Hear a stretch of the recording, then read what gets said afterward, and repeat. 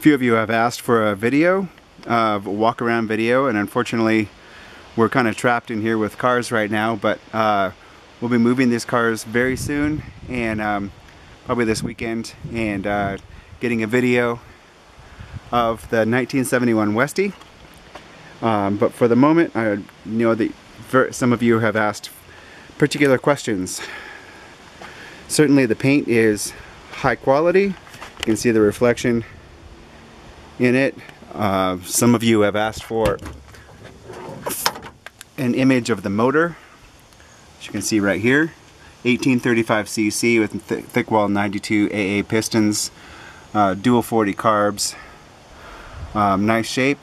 Uh, about at this point we're at about 75 80 miles on it still in break-in oil again uh, reflection here the paint really nice paint job brand new and again looking at the nose we see good paint nice reflection reflectivity, etc.